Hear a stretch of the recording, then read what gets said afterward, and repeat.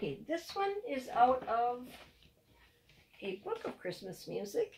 This is,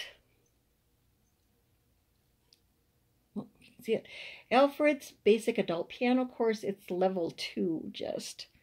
Um, but there's a lot of good uh, Christmas songs in here. Christmas Hits, it's called. And we're going to do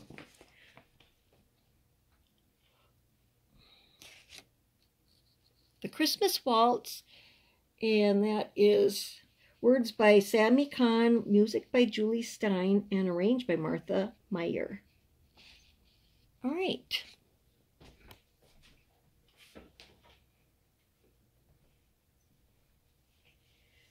Okay.